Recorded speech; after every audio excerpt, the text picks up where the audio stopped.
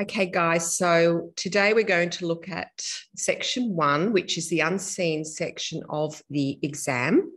Yesterday we had a look at uh, one, question one, which is worth five marks, and I suggested you write about three quarters of, a, of an exam booklet for that answer. Don't spend too much time on the low mark questions. Of course, do, do write some, do write, but don't sort of waste time on those questions when you've got a 12 mark one coming up. Okay, so this is the um, an outline of all the key concepts that we're going to be using to answer those questions. Um, we've studied the frames, and this is a summary of all the frames. You have your structural, your subjective, your cultural, and your postmodern frame. It also has a summary of art making practice, the material practice, and the conceptual practice. So we looked at this back in term one this year. Okay, and there's a summary of what material practice entails and what conceptual practice entails. And um, then there's the conceptual framework, which we looked at in great detail when we were looking at um, Banksy and Bill Viola. So, you know, it's basically the connections between, you know, the artwork and what's going on in the world, or the artist and their life and the artwork, or the um, artwork and the audience, how the audience interacts with the artwork. So it looks at these connections, okay? And uh, usually um, a question will ask you to talk about two of those connections, not the whole lot, because that would take too long. Okay. So this is um, the sort of uh, little summary of all the key concepts, and it comes in handy when we're looking at section one. So, section one, let's have a look at that. So,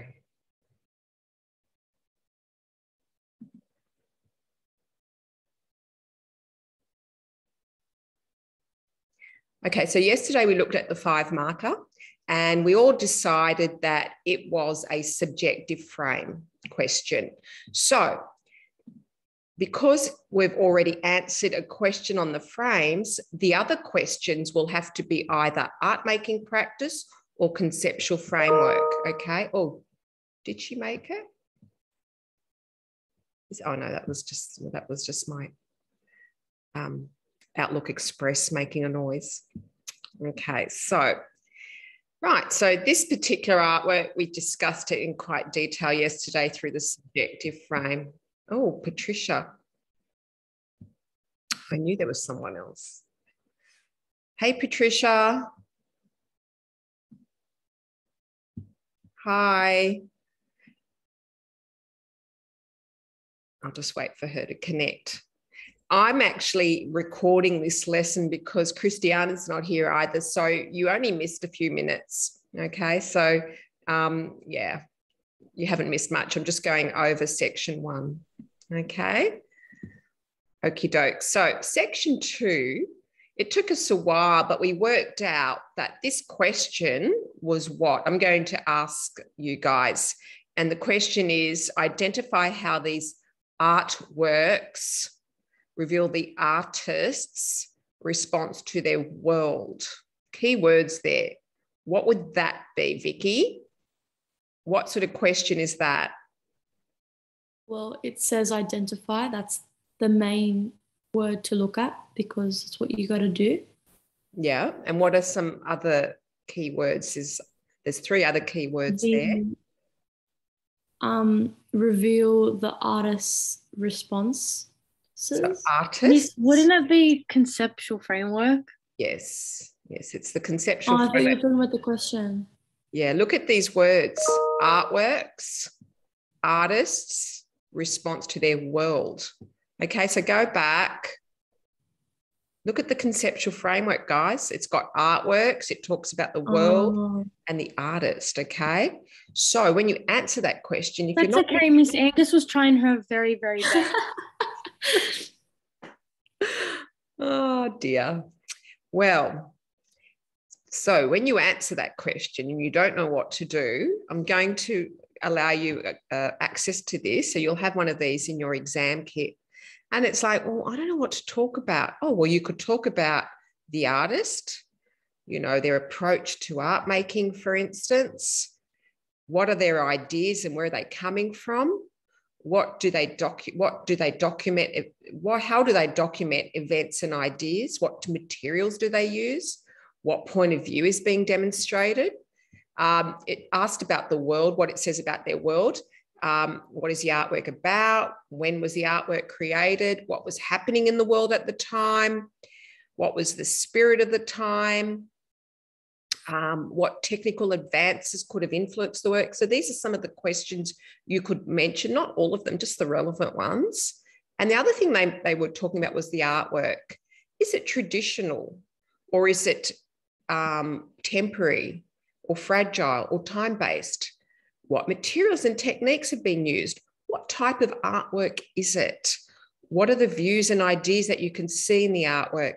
Where is it displayed? You know, is it outdoors? Is it in a gallery? So when you realize that this is these are the sort of things you need to talk about in section one, it doesn't matter that it's unseen because you can just gather information by looking at the image, but also looking at this, looking at when it was made, so the 1970s. You may not know anything about the 1970s, that's fine, but you also look at what it's called the Pont Neuf wrapped in Paris, okay?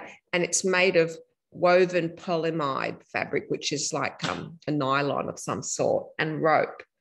Okay, so already it's sort of like telling us this is not a conventional artwork. It's not even in a gallery, and it's a bridge. Like it's a big, great big work. So it's an installation. Okay, so then you look at this one. This is a an artwork by the pop artist Andy Warhol. Doesn't matter that you don't know he's a pop artist. We do know that he's American and they're Campbell soup cans. So really, it's just about everyday life. Okay, isn't it? And it's just ordinary subject matter. And then we go down here to Michelangelo, and we all know Michelangelo. And this is a painting uh, called The Creation of Adam. So it's a biblical story, um, and it's in Rome, in the Vatican. It's actually on the ceiling, and um, of the Vatican, and um, it's very famous. Ah, she's here.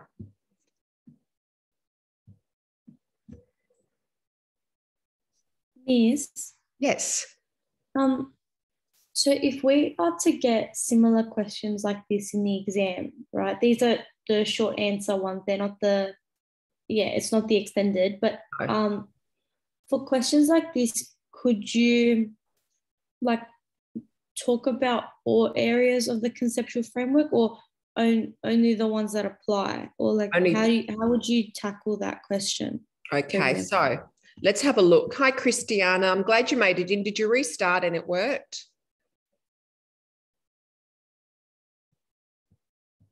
I think so.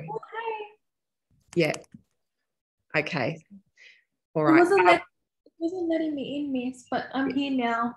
I know. I think um, I've had a couple of students have that problem. Mina had that problem. I don't know what it is. It's not. It's not my password. I think it's. You just need to update Zoom. I was, I was typing it in manually, so I don't know what was wrong with that. Yeah, you. St- I think you just have to update your computer at least once a week. Yeah, I did. I, re- I restarted it and I also updated my Zoom. Oh, okay, that's what it was in that case. You've got to update Zoom. It's a bit temperamental.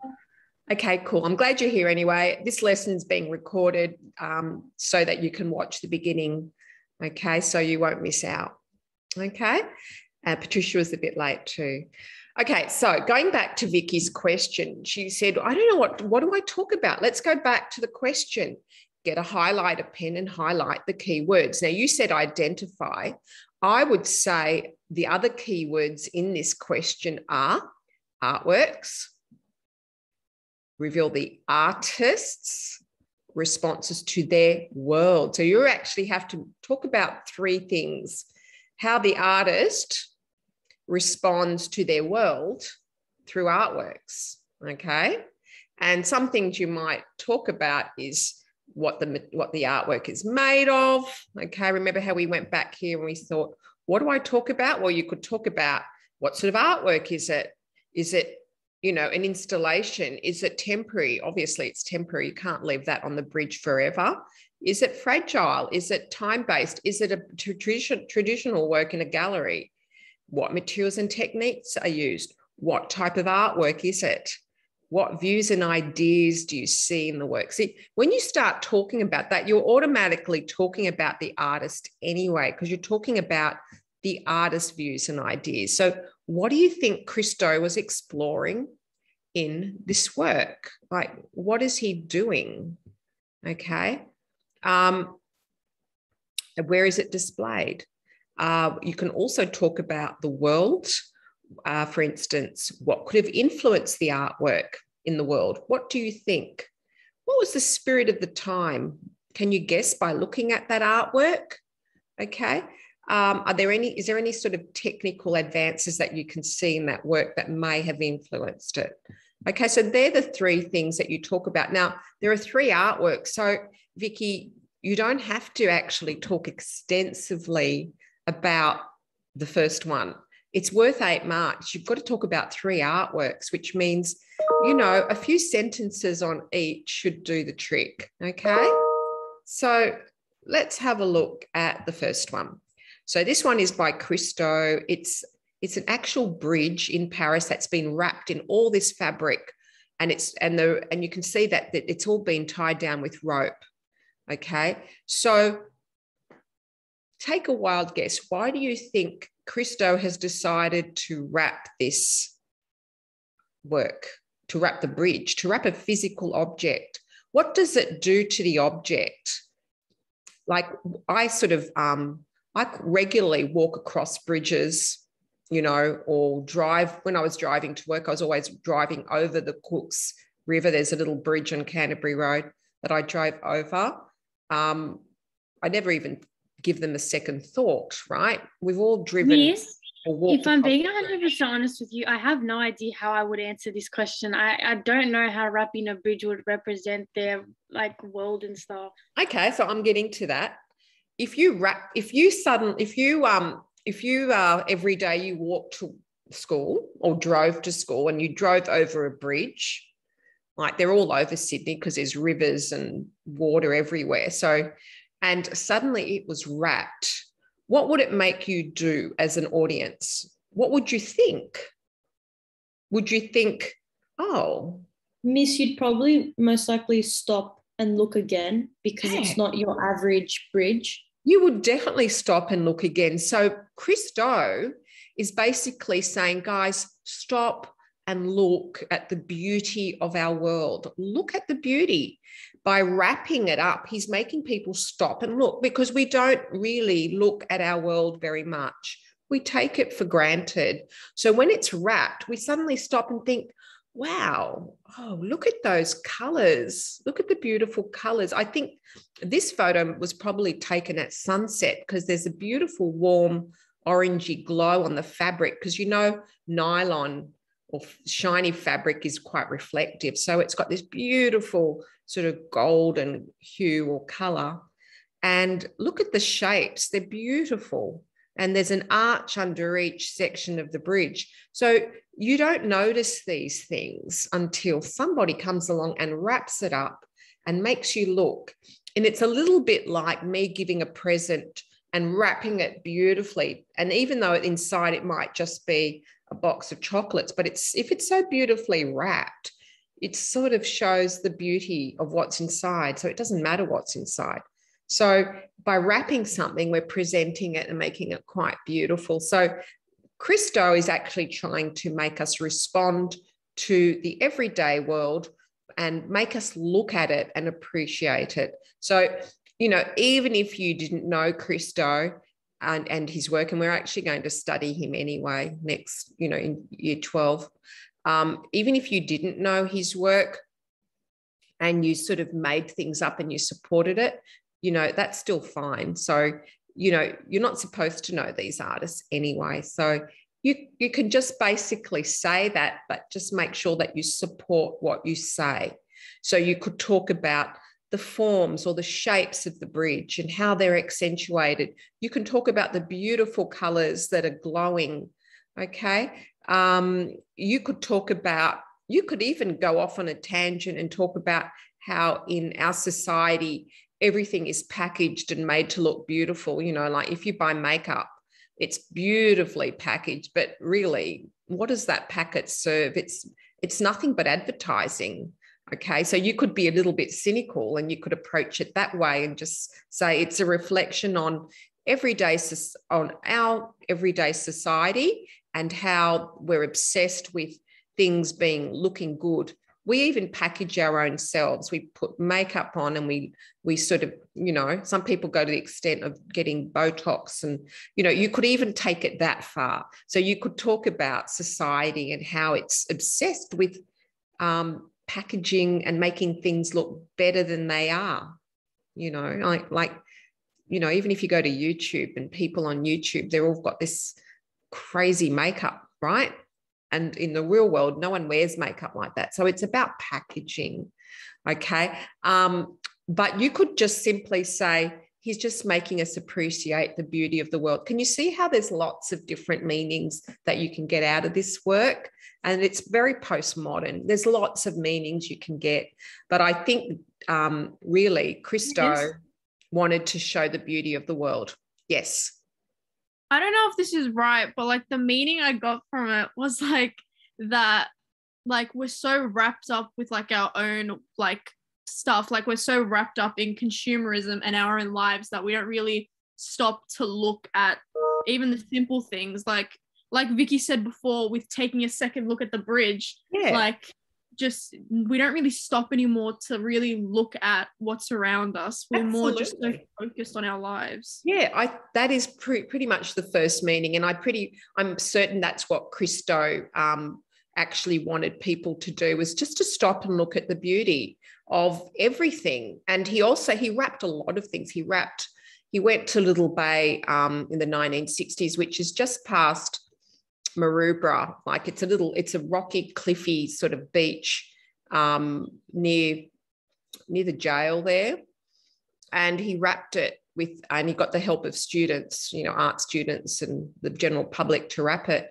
and it looked really amazing. And it's such a beautiful beach, but I don't think people realise how amazing those cliff tops are until you wrap them up. So yeah, we are so wrapped in our own world that we don't stop and smell the roses, so to speak. So, yeah, that's a really good, that is pretty much the first, I would say that would be the first interpretation of the work. Um, and then you could even take it further. So, can you see how looking at the work and just thinking, um, you can sort of come up with a response? And the more artworks, guys, that you're exposed to, the more you're able to sort of respond to other artworks. So, when we have a look at um, Christo, when we do, because he's one of our case studies in year 12, you can then apply what you learned with Christo to other artworks as well. So I try to look at a variety of artworks just to expose you guys to sort of various sort of types of art so that you can respond to this section with a little bit more information.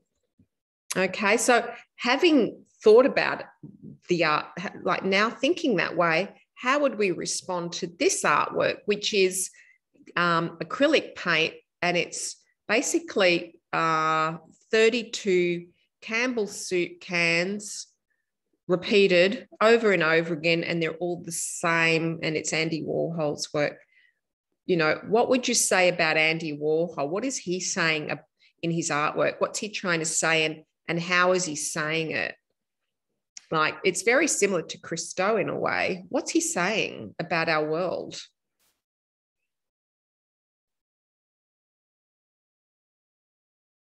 Does anyone want to offer a response? so would you talk about the repetition? Yep. where do we see repetition in our it's world? The same photo, like over and over again. Definitely, you talk about repetition. Could we also talk about how like each like frame and each can of soup is like very symmetrical, like everything's in perfect order and like all yeah. that? Yep. So they're very symmetrical, perfect, repeated over and over again where do you see this sort of visual image well could you could you talk about it that it would be like representing like in society how everyone's kind of conditioned to do the same thing and be the same no one be out of the ordinary Yeah, you could talk about that. You could talk about um, everybody um, sort of being the same. You could even just talk about um, our world. So not only are we, well, we're not all the same, but often we're we're sort of um, even at school we all have to wear the same uniform and sort of kind of behave the same.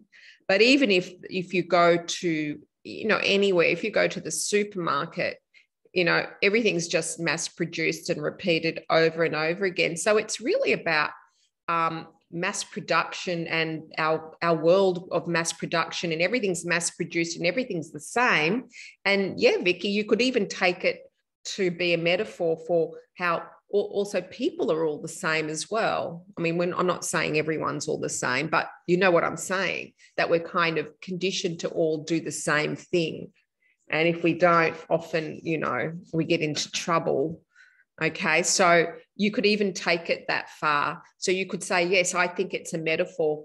This repetition and sameness is a metaphor for society um, and people. But you could also just simply say it's basically our ordinary world. And um, you could say, uh, Andy Warhol is glorifying ordinary subject matter instead of saying uh, you have to art has to be about important, special things. It can be about ordinary things that most people see each day because let's face it, most people don't get to go to an art gallery and see beautiful art. So for them, art is just everyday subject matter like Campbell's soup can. So, you know, you can see how there are various meanings you can get out of this work um, just by simply looking at it, looking at the art, how it's made, you know the visual qualities of it like the repetition and the sameness and then thinking what does this symbolize? What would this mean? What is the artist trying to say? And you can even look at the year it was made 1960s you know that was the beginning of consumerism culture. It was after well after the war people had lots of money Lot, you know people had television sets and um, you know they they had access to sort of mass produced objects in the supermarkets. You know supermarkets went around all the time you know so they were be- becoming very popular especially in america i think they became popular in, in australia in about the 1970s so most people just went to corner shops and fruit markets and you know they didn't there weren't supermarkets around back then. So you can look at the year and you can sort of think yeah that's reflecting society and how all this was very new. So you could even take it as far as that. Okay so there's that. And then there's this work here which was painted oh a bit of a mistype there in 1511 um, it's called the creation of adam and what's michelangelo's world there what would you say about this, this work? How does it reflect?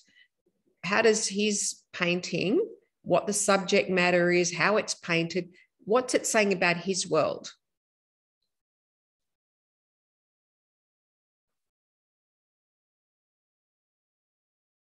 and who and who might he have painted it for he didn't paint it for himself because it's have a look here it's painted at the vatican on the sistine chapel a chapel is a church um, that's in the Vatican. Vatican is a little sort of almost like a state in itself in Rome, um, and it's just dedicated to, um, you know, the sort of uh, the sort of the church. It's where the Pope lives. What do you think this work is about? What what's he glorifying? Well, it's definitely got some religious factors behind it, as it's the creation of Adam and Eve, or yeah. Adam basically. Yeah it's definitely religious. It's a Christian image of um, the creation of Adam, which is like you know the in the in the Genesis section of the Bible. It's a story. It's the Genesis. It's the creation of Adam um, at the very beginning, and he's sort of glorifying that. What when I say glorifying, what do you think makes this look quite majestic and glorified? Like it's on the ceiling of a of a church. So try and use your imagination. If it's on a ceiling, you know, what do you do when you look up? You're kind of looking up. And what does that kind of imply? You're looking up, you know, up to the heavens. Okay. So it's, you're looking up to look at the artwork. And it's like you're looking at God and you're, you're kind of, well, not looking at God, but looking at the creation of Adam, and you're looking up towards the heavens, and it's in, quite incredible. Like it's really quite a majestic work. It covers the whole ceiling and it's really beautifully painted. Like it's super, re- like it looks very realistic. So, what would your reaction be looking at this work? So, try to so try to be a tourist looking up at this work. How would you feel? Would you be? How would you feel?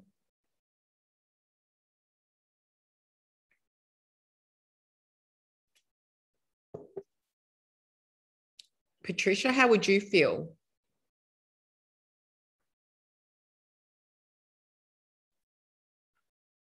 You'd probably feel like in awe, like you'd th- look up and say, wow, that's beautiful. And basically, the artist is trying to make you feel sort of the power maybe of God through beauty and through the way it's painted and the beautiful composition and have a look at Adam. You know, he's Could touching. it also be the connection with the hands? yeah, absolutely. like, They may be far apart, but they're always like connected in a way. yeah, and who's who is that? Do you think Adam? That's God. Adam. That's God. Okay, so it's you know the connection between God and humanity could be a Mm. symbol of that. It could be um, the power of God. So he's trying to make us feel about God's power through this beautiful artwork. And it's a, you know, it is a very famous artwork. And, you know, it's just so beautifully composed. Like your eyes led from this this man and look at look at his face. He's so expressive and it goes along his arm and then it touches just t- and I think you've all seen that. You've probably seen you know the mat the hand of god touching you know you've probably seen this image or if not the whole image you've probably seen that bit there because that's quite commonly reproduced so it's about the power of god and religion and what yeah. style is this artwork? Like, what This is is- what is it called?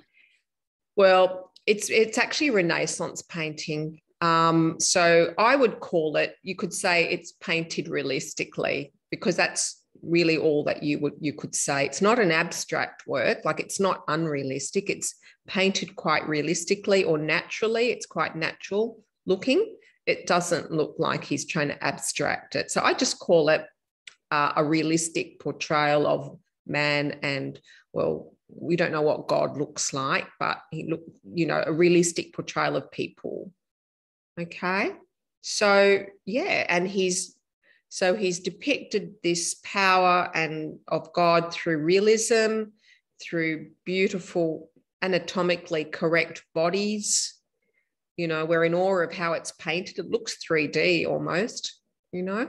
So yeah we're supposed to be amazed. And actually we're also meant to be amazed in this artwork too. So there's sort of a common common thread through all of them is about artists making us look at our world its beauty or its kind of you know consumer ugliness i guess. But yeah so that's how you'd read into that world. So you can see how you could write quite a lot and it's eight marks. So you know you could easily write two pages on that uh, one and a half at least um, with the eight mark question but you have to write really quickly.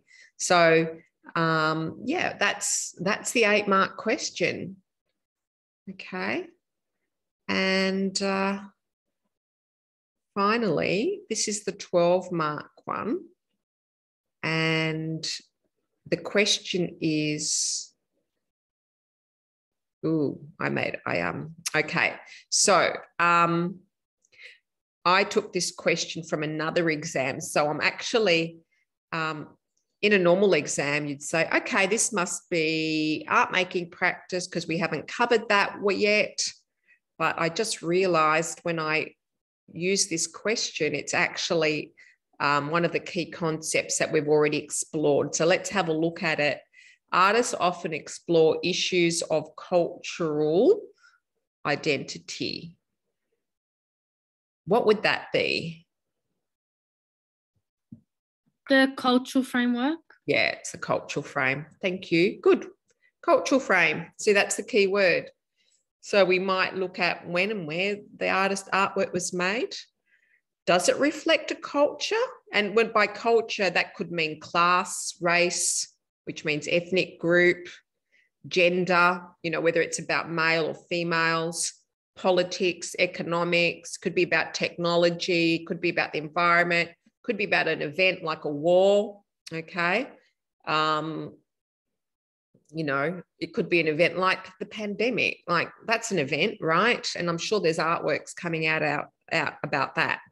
Does the artwork belong to an art style or movement? For instance, can you tell what sort of artwork it is? Is it abstract, which means unrealistic? Is it realistic? Is it expressive? Is it cubist? You may not know these, these styles.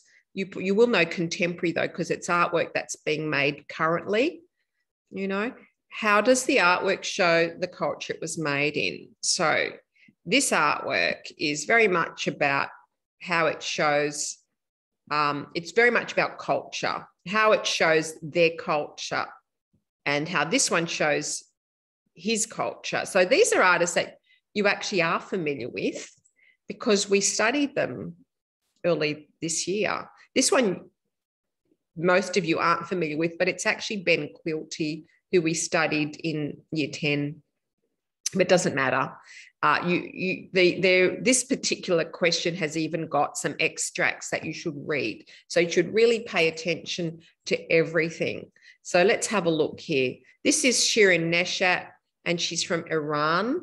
So we're kind of assuming this, this black thing on her face might be a hijab because it, Iran is a, a very sort of um, uh, sort of a fundamentalist Islam, Islamic religion. Um, and on all over her face, you can see there's kind of Arabic script or writing. Does anyone know what that is?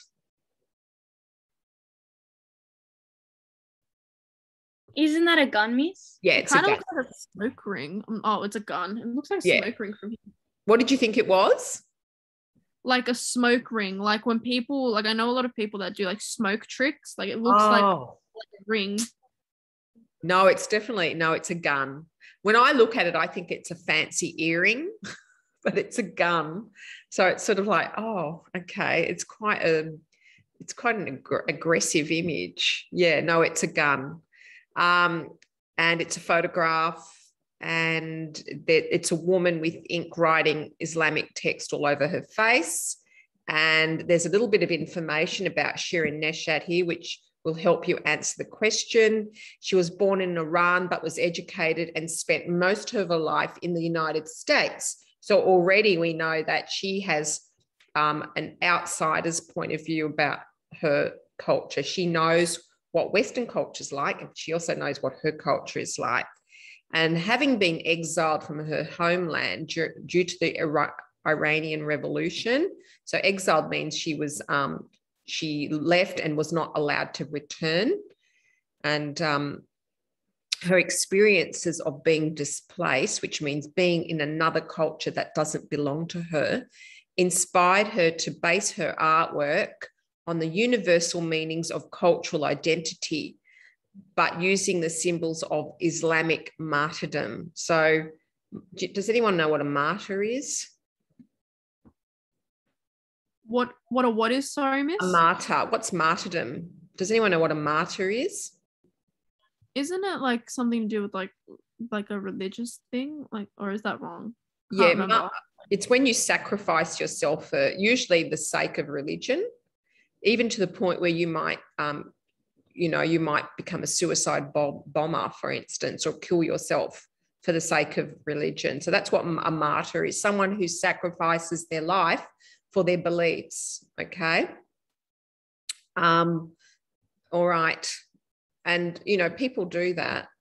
Okay. So that's that one. This one here is ASEAN. Um, and we know ASEAN because we studied him as well. He makes those portrait busts out of porcelain. Um, and this is from the China China series. And it's basically a portrait bust with um, a relief, which means a sculptural aspect to it, of chrysanthemums and chrysanthemums are flowers. I think they're flowers that are used in Chinese art quite a lot. I think they're sort of, you know, they're those kind of usually yellow and orange flowers. Okay. And it says here, this is the extract for him. Following the events in Tiananmen Square, that was a massacre in the 1980s. And when Axian was a young student, Axian sought political asylum in Australia and moved to Sydney in 1990. He has united traditional Chinese materials and techniques with contemporary sculptural practice to address issues around his cultural identity and the relationship between East and West. So he's melded or, or fused Eastern and Western style of art. The portrait bust is a very Western style. You see a lot of Roman and even Greek sculptures use this, not Chinese, but the Chinese aspect are the chrysanthemums, the flowers. And uh, finally, we have this painting of a combi van, looks like a van um, with a with um, what looks like a skull attached to the front and it's by Ben Quilty, and it's very abstractly, very expressively painted. Okay. Uh, ben Quilty paints the car as a living object, so be- the car becomes living. Quilty believes that cars in Australia are seen as objects we desire. So he's kind of talking a little bit about Australian identity now as an extension of the owner's identity and important for traveling around such a big country. So, a little bit about cars in Australia. Um, you know, when I was growing up, you're either a Ford owner or a Holden. You either had a Holden or a Ford. And you never ever, if you're a Holden car driver, you never bought a Ford. And if you're a Ford driver, you never bought a Holden. So that's really a very Australian sort of thing. Australians have a very um, strong connection with their cars. And the other connection is that Australia is big and we use them to drive around. So, yeah, so for, to go on holidays and things like that. So, what is he saying about Australian culture? What is Axian saying about his culture being a Western, being an Eastern or a Chinese person living in Australia? And what is Shirin Neshat saying about her original culture now living in United States. So what do you think these artworks are saying about issues of cultural identity? What are some things that they're saying? Does anyone want to make suggestions with the first I one? Think, I think for the first one, like it's talking about like kind of stereotypes, like hmm? I don't know, like because it's talking about cultural um like things and I think it's more talking about how like if you're Middle Eastern now, you're immediately labeled like a terrorist and you're immediately labeled all of these like horrid and like very just disgusting terms and it Yeah. just happens all over the world. Absolutely. like- yeah. Good. Yeah, you could talk about how um, cultures are labeled um, and there's stereotypes of cultures. Um, and what's the stereotype here? We have the gun, so martyrdom and violence. We know that, um, sh- in, and, and in the name of religion too, because we're sort of assuming. I think it actually says it's it's Islamic text, but it doesn't say that it's from the Quran. But we can assume that it is. Okay, um, and yeah, and it's also a woman's face too. So there's also the um, it's it's talking about her cultural identity, right?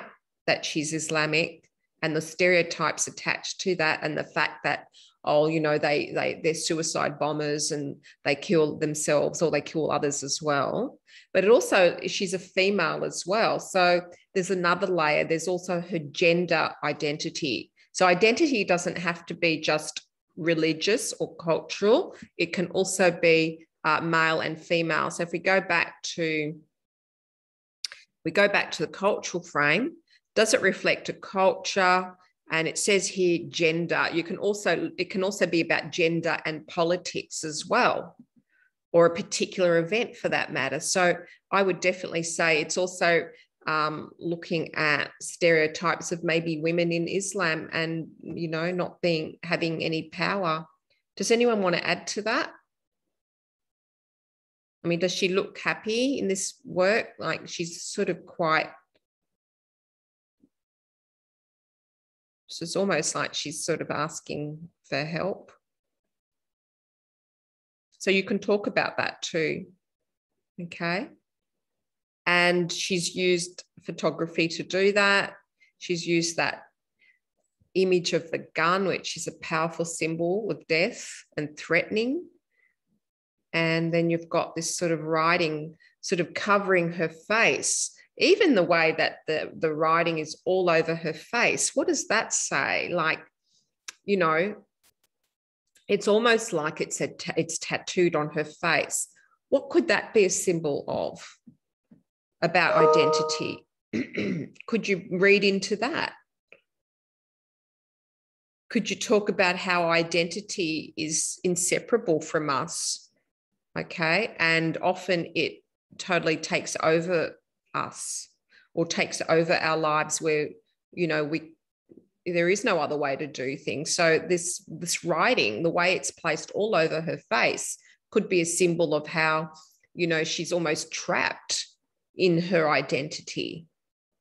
Okay, and there's no escape. So you can really read into it. So if you get stuck, just think about it. Think about the way, think about why did she put writing all over her face? Like, you know, what does that suggest to you? It's almost um, that identity. When we were learning about ASEAN, for instance, we were talking about the indelibility of identity and indelible you know, like an indelible marker is just a fancy word for permanent marker. So our identity is indelible, it's permanent. We can't really escape it. And, you know, having something all over your face, almost like a tattoo, you can't escape that. So there's that as well. Um, when we look at ASEAN, again, this chrysanthemum, which is a very Chinese symbol, I'm pretty sure, um, I'm just going to look up Chinese art. Chinese art. Here we go, came up straight away. Yeah, so if you look at some images of Chinese paintings, they do love the chrysanthemums. You might not be aware of that, but ASEAN paints dragons and all sorts of stuff as well. So there you go. Chrysanthemums are and I don't know what they symbolize actually, but it doesn't matter. We do know that it's um, it's Chinese because it's it tells us anyway. So we've got this information here, you know, um, that he um, uses Western techniques um, and tr- traditional Chinese materials as well. So porcelain porcelain is, is also Chinese, you know, all those vases that you see with sort of Chinese, the, you know, the blue vases, they're all that sort of, so you kind of have to understand that as well. Uh, so he's fusing the two together. What's he saying about his identity? He now lives in Sydney. And this is something you should be able you should all be able to relate to because you all have two identity you all have two cultural identities. You know you're australian you're born here but you're still greek like is there anyone not greek in this class? So no. So you can't escape that. Like no matter what it's there and it's your it, it will always be there so it cultural identity is really strong. So yes, you identify with being Australian, but you can't escape your Greek identity either. And it's not just about, you know, where your parents were born, it's more than that, it's in you. So, you know, I think this work basically says that. It kind of says he can't escape his Chinese identity, this, this symbol of his Chineseness, which in this case is the porcelain and the sort of flowers is all over his face and the eyes are closed. So, what might that symbolize?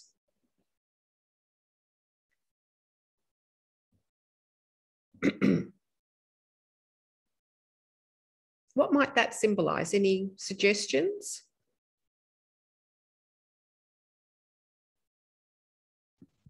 Which image, Miss? This one here. Oh, am I am I on the right page? Yeah, I am. Yeah, Yeah. it's just my screen. Okay, this one here. One thing you notice, so don't don't let anything go. When you see, when you look at an artwork, think, oh look, the eyes are closed. You know, make a suggestion. What could that mean? When we're when our eyes are closed, what could that mean? I don't know. Like, are we helpless, or you know, are we blind, or are we somehow Well, I guess we don't see what's going on around us. yeah? Sometimes our identity. awareness. Yeah, yeah, good. You can talk about that. You can talk about um, how identity sometimes um, limits our awareness of other things that, you know, other ways of doing things. Like you can read a lot into it. And as long as you can support it by saying the eyes are closed, therefore suggesting that, you know, we're blind or lack an awareness of other things, like you can really read into it and and make your own meanings. And because it because it's postmodern, you can actually do that. And the artist does encourage you to read into an artwork and perhaps bring meaning into it that the artist didn't even think of. So we talked about postmodernism the other day and how there's layers and multiple layers of meaning. Then to I'm sort of encouraging you to do that, to look into the work and think, what could it mean? Um, it's also about his fusion of both Eastern and Western cultures. You know, now he's in Australia, he's both Australian, but he's still Chinese and he'll never let go of that. So it's very much about the inescapable, inescapability or the indelible nature of culture. We can't remove it, it's stuck on us forever. Forever. Okay. And the final work is this great big ugly card, very expressive. And it's about it's about Aussie identity. What's it saying? I mean, it's not the car's got a skull on the skull on the front. So what what is he saying? What could he be saying? I think he's kind of talking about how Australia, like especially, is really big on like cars and how like it they're they're more of like an adrenaline thing. Like Mm, really like it's like an adrenaline like I don't know how to explain it. Like we're Yeah. adrenaline junkies. Like I don't know how to explain it yeah. properly. Yeah. Yes. And sometimes what happens with people in cars when they're sort of, you know, take them to their ultimate sort of function, which is to drive and drive fast. A lot of deaths happen in cars too. Um, sort of maybe it, for me, the kind of the skull suggests, you know, people dying in cars as well. I mean, I don't know. That's what I kind of get out of it. And also the, yeah. And also, um, I think because it's got a face on it, um, it's almost sort of saying how important cars are to people, especially in Australia, and the males, especially. It Like kind it's of real, the car an identity. Like it gives it an identity. yeah, yeah. It's a sort of, um, it's, it, um, what do you call it? Is it anthropomorph? You know, when you add a, a hu- what do you call it in English when you add human characteristics to an object? Personification. What is it? Personification. yeah you could personification so adding sort of creating a human character. And in a way it sort of um, says a lot about how important cars are because they're like part of the family.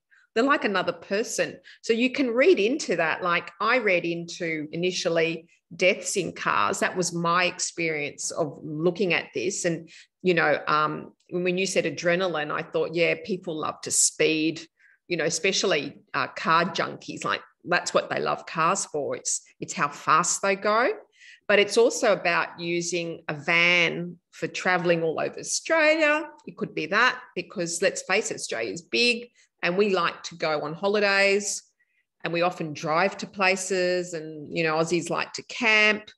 So it could be that. Okay i'm just bringing different meanings. And then there's the personification giving it human character to suggest that cars you know in in australian culture cars are often like they're like part of the family. And you know they're really important. So, and we hold them very dear to us, especially in a male Aussie culture. And I know, Davina, your family are really into cars, so you know exactly what I mean. So, that's really something that is, there's a real strong culture in Australia with cars. Um, and I think that's what Ben Quilty is painting about because he's a young male too. And um, yeah, and then the aggressive way he's painted it, I guess, what do you think? Why is he why is he painting so expressively? What does that mean? Like, for me, it's quite violent work, but I read violence into it. Anything else? Does anyone want to suggest anything? I don't really see violence. I see it more as like an expression of like, like kind of who like people are. Because I know, like for me and for my family, the first when people think of us, the first thing they think of is like the GT or like Yeah. any car. Yeah. That's the first thing that I always think of, even with most of the people in my family. Yes. So I think it's more of a thing where it's like even like like the use of colors. It kind of like it's it's not really like scary in a way. It's more like a um like a vibe. There's like a vibrancy to it that just adds this kind of like it just adds like this anonymous identity that so many people take over, especially in Australia Yeah. within like the car community and GTs and just everything like that. Okay. So you think that the painting makes it look vibrant and special and and uh, more individual than than just a sort of um, you know like Andy Warhol's work, which is very it's almost photographic. So maybe it gives it a bit of character, perhaps Yeah. some some human expression. Yeah, you could definitely talk about that too. Yes. And there is a kind of expressive quality that you when you think of a car or a painting of a car, you don't expect it to be painted that way. So it gives it almost, yeah, maybe a more human, emotional quality. It gives it certainly makes it emotional. So yeah, perhaps he's uh, giving the car human characteristics, including emotions and feelings and a face. So can you see how you can really read into an image? And um, as long as you support what you say, you you know you're fine so talking about the emotion emotional expressive qualities of the paint um, you could say well that's a metaphor for how we portray cars as being you know part of the family and having emotions and feelings and that's how special they are to us so yeah absolutely cool okay oh it's oh have we gone over time okay so there you go. That is section one, guys. Oh, didn't realize. What time does the bell go? Four minutes ago. Okay, I think we did that pretty well. So, yeah, there you go. So that's section one, and it's half the exam, and so you shouldn't spend more than forty-five minutes on the on this whole section. Question one, two, and three, and then the other forty-five minutes would be your essay. So next revision lesson, we're going to look at the still paragraph again and look at some Miss, are you gonna put today's lesson up on Canvas? I'll do that. recording? Yeah, it's a long recording, so just be patient. I will put it up. You didn't miss out on very much, but I'll put it up for you. Yeah. Okay. Okay, guys. Thank you, and um, Bye. I shall see you soon. Bye. Thank you. See you. Bye. Bye. Bye, Miss. See ya. Bye, Miss. Bye.